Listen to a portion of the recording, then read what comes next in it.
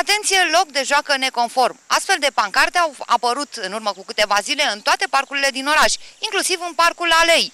Odată ce am văzut acest anunț, am căutat să vedem unde este locul de joacă neconform și ce am găsit ne-a lăsat fără grai. Două leagăne ruginite, din care unul lipsește cu desăvârșire și trei tobogane cârpite cu niște scânduri rupte din niște bănci. Asta înseamnă acum ceea ce pompos se cheamă loc de joacă în alei. Un loc de joacă despre care probabil nici nu am fi auzit dacă nu s-ar fi amplasat acea pancardă la intrarea în parc. Un loc năpădit de buruieni ascuns în cel mai îndepărtat colț al aleiului și mascat, dacă mai era nevoie, de boscheți și țevi de termoficare. Așadar un loc mai mult decât perfect pentru joaca celor mici. Cu ani de zile în urmă, atunci când aici chiar era un loc de joacă în adevărat adevăratul sens al cuvântului, erau și stâlpi de iluminat, din care acum a rămas ceea ce se vede. Peisajul de aici ne îndeamnă să credem că nimeni nu-și mai amintește de destinația inițială a acestui loc. Asta în timp ce edilii se zbat să amenajeze locuri de joacă prin toate cartierele mărginașe, uitând însă de cel mai vechi și renumit parc al orașului, Parcul Alei. Speranțe însă sunt. Cel puțin dacă e să ne luăm după pancarta instalată la intrarea în parc, pancartă prin care primăria ne anunță că locul de joacă este neconform, ceea ce se vede și cu ochiul liber dacă până la urmă găsești locul cu pricina, ne cere scuze pentru situație și, cel mai important, ne promite că locul de joacă urmează să fie reamenajat în scurt timp. Rămâne de văzut ce înseamnă în accepțiunea primăriei noțiunea de scurt timp.